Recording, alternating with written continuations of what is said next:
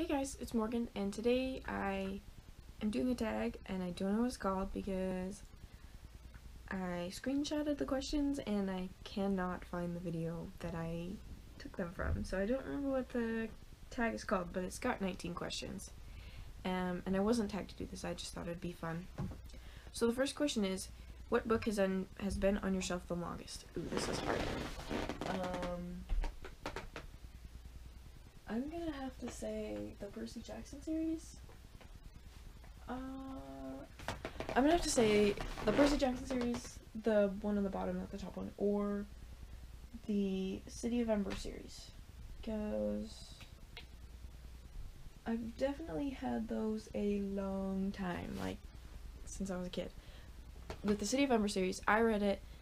Two of my brothers read it, and my grandma read it. So it was like a whole family thing that we did years ago. So I don't know. I think I might have had the Percy Jackson series the longest, but I cannot tell for sure which one. Question two. What is your current read? Um, I'm currently reading a graphic novel. Um, Stormbreaker is the first um, Alex Rider book. I'm also reading Arch Archangel, which is the sixth Alex Rider novel, and I'm reading a book called The End Games.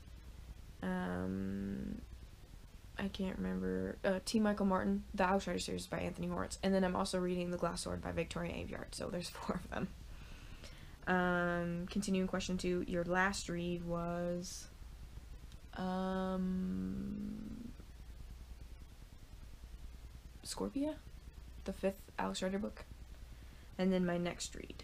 Um, well, I guess technically Glass Sword because I haven't actually started it yet, but it's on my currently reading shelf. Okay, question three. What book did everyone like but you hated?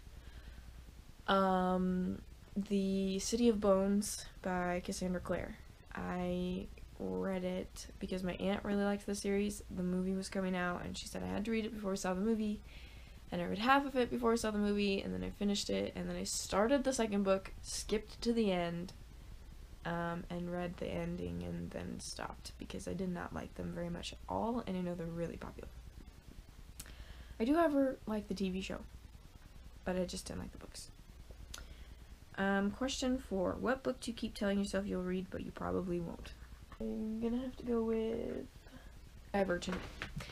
Um, I got the first and second book at a library sale, and then that was a long time ago. And then I was recently told by somebody that if I didn't like the movies, which I didn't really like them very much, then I shouldn't even try to read the books because I won't like them. So I keep saying, I'm gonna read it, and I kept it, but I probably won't. Um, question five. What book are you saving for retirement? Okay, so I don't know exactly what this question means. Like, I'm gonna not read it till I'm really old, or I'm gonna have it forever. Um, because I do plan on reading all the books on my shelf, with the exception of a couple that I should probably just get rid of. Um, I guess a book that I will always have is The Outsiders by S.E. Hinton. It is one of my absolute favorite books. I actually just recently got the 50th anniversary edition, which is way better than my copy because it was one of those copies that the school buys like 5,000 copies of just to have at the school, and it's like dumb. Question 6. Last page. Read it first or wait till the end. Usually I won't skip ahead, but sometimes if I'm reading a book and I'm kind of bored or it's really slow, I will skip to the end of the chapter and read the last sentence. I don't usually skip to the end unless I'm really close to the end and I'm like, yeah, this is really boring. I don't know if I want to finish it. And so I like, we'll skip to the end. But I don't usually skip to the end. Question 7. Acknowledgement. Waste of paper and ink or interesting aside. Well, um, I think if you write a book and you want to thank people or let people know some things about it, then that's totally your thing. And I don't think it's a waste of paper. I don't really read them, but it's not really something I would say you shouldn't do that. Question 8. Which book character would you switch places with? Um, this is really hard. Hmm. I'm trying to think.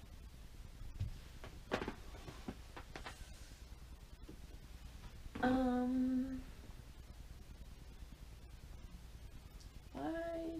no.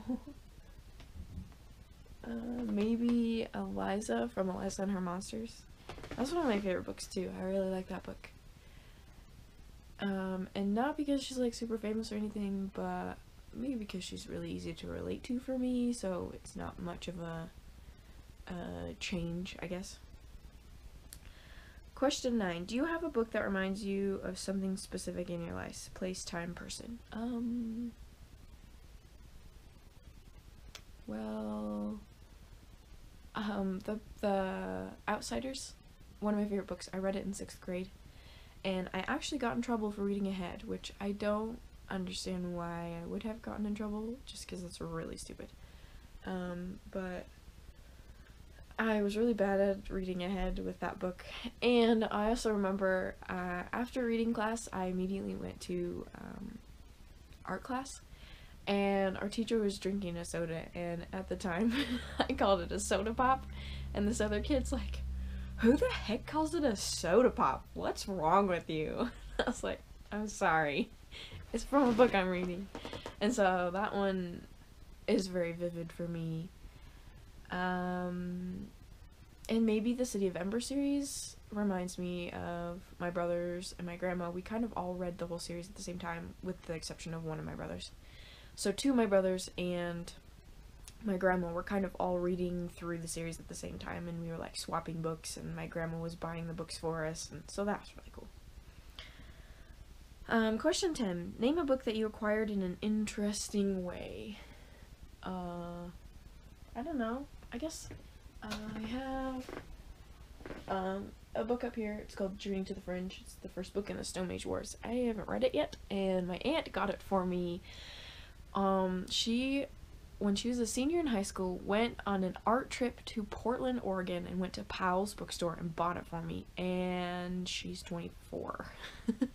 so that was like seven years ago, six years ago. Uh, question 11. Have you ever given a book away for a special reason to a special person? I didn't really think so. Um, I did. I had the the first Percy Jackson book was the movie cover, the first one I had, and my brother had the original paperback cover, and I bugged him for a really long time to trade with me, and he finally did.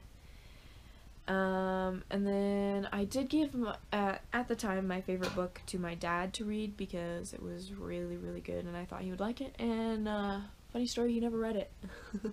that was like five or six years ago. It's not my favorite book anymore, but it's still a really good book. Um, question 12. Which book has been with you most places? Um, mm, I don't really know. I bring my books with me a lot of places. I guess I could say, um, the Patrick Ness book up there the Knife of Never Letting Go, and the other two, The Ask and the Answer and Monsters of Men, I loaned to my aunt who lives in Rexburg, and she came here and got the first one and took it back with her and read it, and then I visited her and brought her the second and third, and brought the first one back home with me. Second and third one are still there with her. Um, but I guess it's the farthest I've ever really taken my books. Oh, I did take a book, um, Eragon to China. It, uh, I read half of it on that trip. We were gone for 11 days. I read it on the plane and on the bus rides. Um, I didn't take any books with me on my cruise. I just took my Kindle books. And I guess I just uh, when I was at school, I'd bring a book with me to school every day, and when I go to work, when I go to work, I bring a book with me. So I bring books lots of places. Question 13. Any required reading you hated in high school that wasn't so bad two years later? So the problem with this is I only went to high school for one year because I was homeschooled. And the reading, I already loved reading at that time. I started loving reading. Um, I still have the book that I used to hate reading, and I read a book called Ruthie's Gift in fourth grade, and it changed my life. I absolutely love reading because of it. Um, so I started liking reading in fourth grade. So I already liked reading in high school, and the books I read were um, Ender's Game, The Hobbit, um, the Wild Magic series, which I'd already read before, So they were all good books. Like I like science fiction and fantasy, and then sci-fi fantasy. We read those books. Well, I read the Wild Magic series, but the class read Ender's Game and The Hobbit. So, yeah, I didn't have any bad required reading books. Um, question 14. Used or brand new? Personally, I prefer brand new, but my wallet prefers used just because they're cheaper.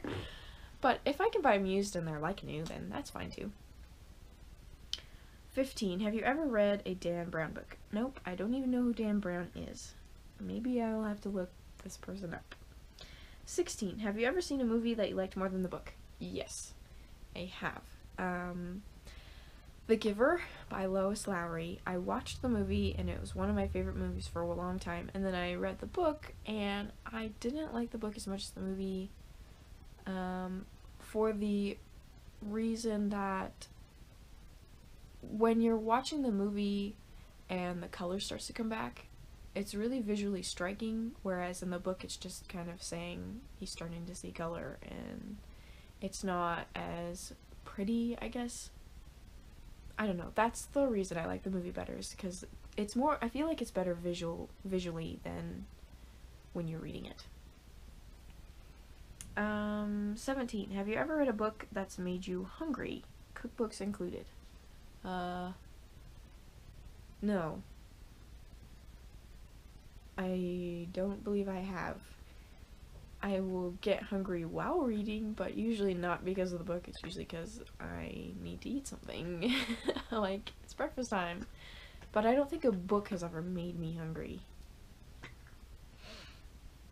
Um, 18. Who is a person whose book advice you'll always take?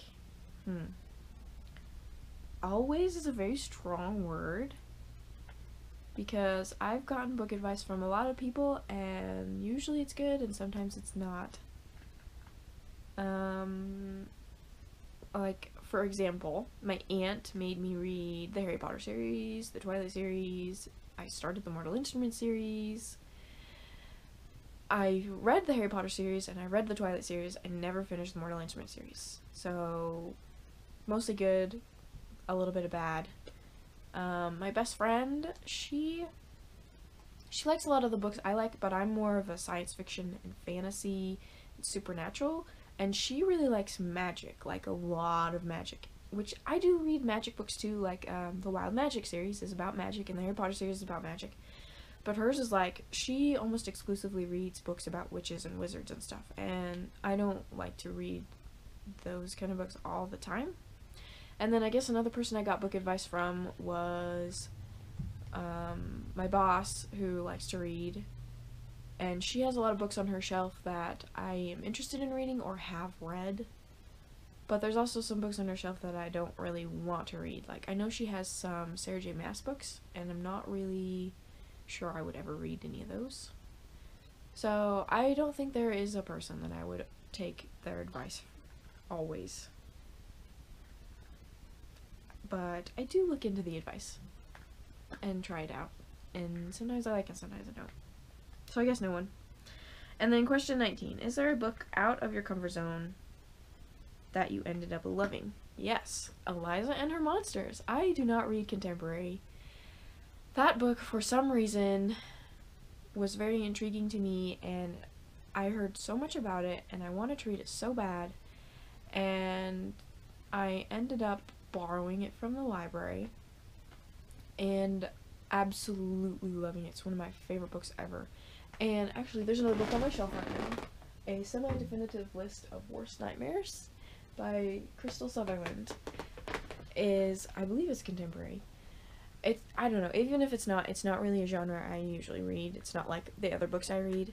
But for some reason, it just is intriguing to me, so I'm gonna try it out. Hopefully, I like it. And that is all for my lots of questions book tag is what I'm going to call it, I guess. Um, if you want to do this, I tag you. And yeah, thank you for watching. I hope you enjoyed, and I hope to see you in my next video. Bye!